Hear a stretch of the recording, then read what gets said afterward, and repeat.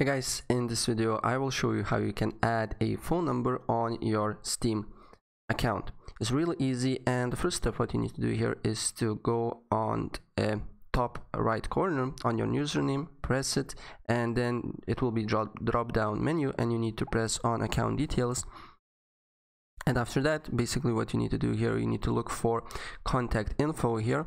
And as you can see here it will be add a phone number. You need to press on that and then basically you need to basically select the uh, international format. For me is Lithuania. And then put your uh, number. Press next. And you will get an email. Basically that basically says that uh, if, if the steam is asking you if you're really adding a phone number. So let me show you what they wrote here. All right as you can see here.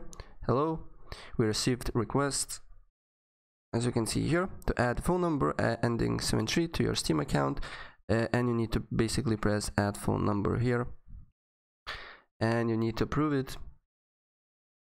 As you can see here email confirm you and now I can press next.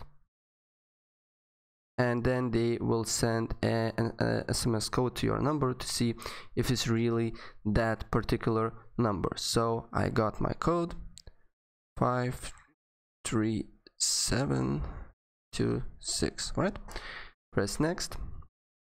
As you can see here and that's pretty much it. Your phone number is added to your steam account right so if i help you out please press like button and subscribe for more. Take care. Bye